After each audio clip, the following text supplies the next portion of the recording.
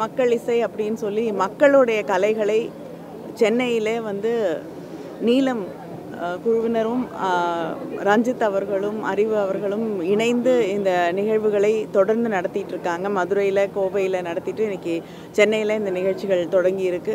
மறுபடியும் சென்னையில் மக்கள் இசையை நம்முடைய மக்களுக்கான கலைகளை மறுபடியும் இங்கே அரங்கேறப்படுவதை பார்க்கும் பொழுது மிகுந்த மகிழ்ச்சியை தருகிறது. ஒவ்வொரு ஆண்டும் அது தொடர்ந்து அவர்கள் நிகழ்த்த வேண்டும்.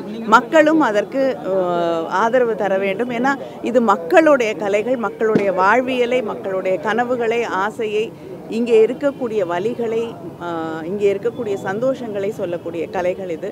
இதை நாம் வந்து காண வேண்டும் ஆதரிக்க வேண்டும். இது போன்ற ஏதாவது நிகழ்ச்சியில் தான் நாட்டுப்புற கலைஞர்களுக்கு வாய்ப்பு கிடைக்குது. அது இல்லாமல் தொடர்ந்து அவருடைய வாழ்வியலை மேம்படுத்துறதுக்கு வேற என்ன மாதிரியான திட்டங்கள் முன்னெடுக்கப்பட வேண்டும் நினைக்கிறீங்க?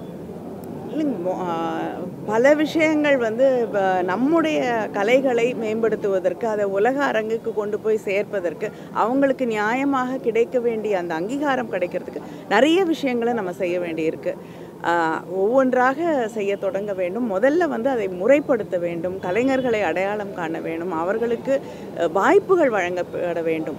அதுதான் எந்த கலைஞராக இருந்தாலுமே வாய்ப்புகள் அப்படிங்கிறது தான் வந்து மிக முக்கியமான விஷயம். அடுத்தது எல்லாத்த விட முக்கியம் இந்த கலைஞர்களை நாம் மதிக்க வேண்டும் கொண்டாட வேண்டும். அதுதான் வந்து ஒரு கலைஞனுக்கு நாம் செய்யக்கூடிய மரியாதை.